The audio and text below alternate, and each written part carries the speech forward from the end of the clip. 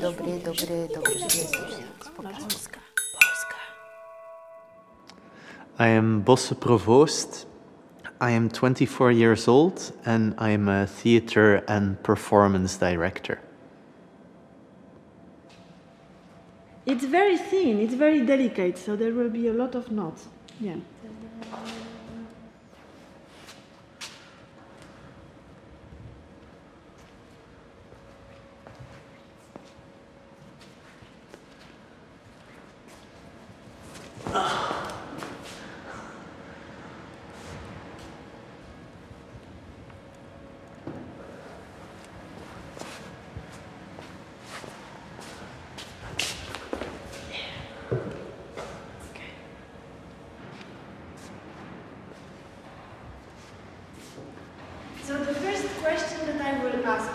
Yeah.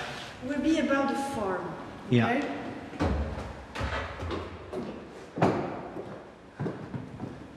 Think about it. Yeah. Let's go upstairs. The Polish artists that I like is that they seem very self aware and self conscious of what they're doing. They're playing a game with form and thereby um, constructing um, realities. It's very present in, in Kantor and Grotowski when it comes to theater.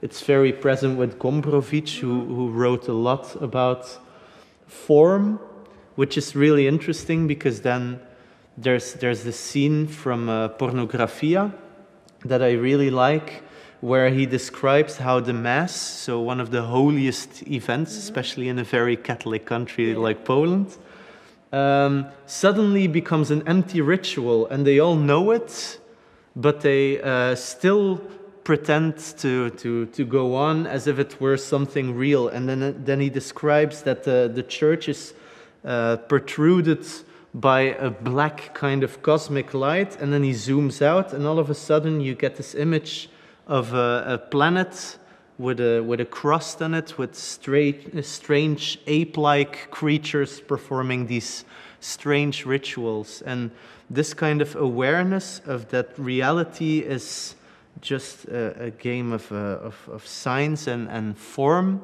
is something that I find really interesting. And that is also very present in, um, in Polish animation, which is um, something that I also really, really like. And in animation of uh, Borowczyk, for example, because I really hate it when they take away this quality in animation, for example, in Pixar or Disney films. I think it's really animation specific that it, uh, that it has so much uh, rhythm.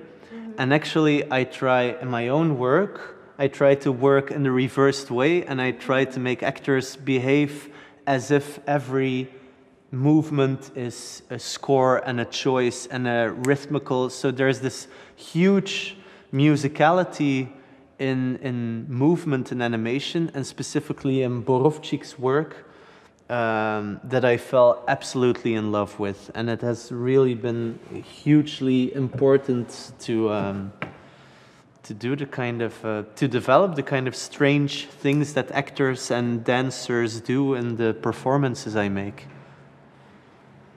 there is this interesting realm where objects become living or half living creatures and where human beings cease to be complete individuals but also become automaton object like and i think that what i fell in love with is a metaphysical kind of poland um,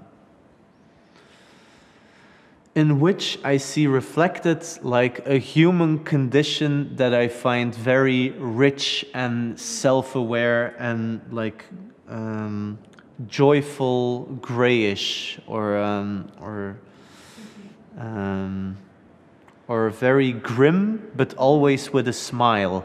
And that's something that I found really beautiful. So I don't know how important that has been in Poland, but I can only imagine it as a very important antidote for totalitarian uh, thinking. To find the, the end or the beginning. It's always difficult. That one I have already, I think. Aren't you getting tired? Do you want a little break? They, they want pretend that they don't listen. They bet- they- Ah, I have one. They don't exist. They don't The exist. camera is not around. There's just the two of us in a vast empty space having a casual conversation, trying to make a sweater. No, because if you are tired, you can have a little bit of break.